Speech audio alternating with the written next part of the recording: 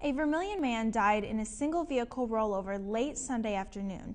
Douglas Richardson, the driver, died before the police arrived on the scene. Gary Ansell, the passenger, suffered non-life threatening injuries. Excessive speed and alcohol are believed to be the main factors in the crash.